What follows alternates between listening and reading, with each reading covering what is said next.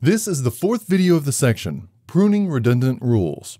In the previous video, we performed association mining with the Apriori rule.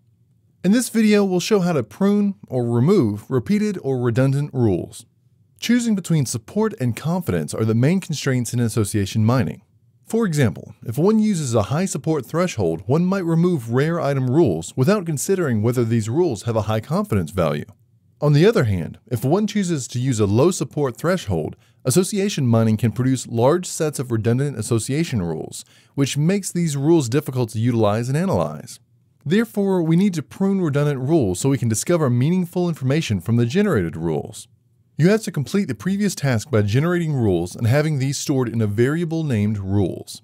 First, we identified the redundant rules using rules sorted function, so let's do that.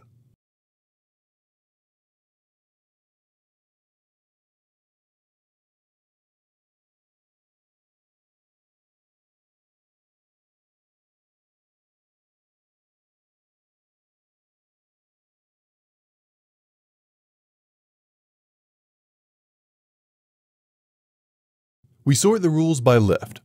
Here we're trying to find the redundant rules. When we run, we see the output here. Once we know the redundant rules, we can then remove them. We use the inspect function with rules.pruned. Amazing! To find a subset or superset of rules, you can use the isSuperset and isSubset functions on association rules. These two methods may generate an item matrix object to show which rule is the superset of a subset of other rules. You can refer to the help function for more information.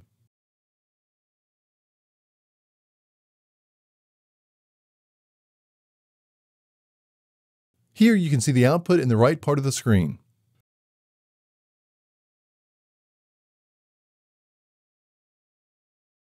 In this video, we removed redundant rules. Great!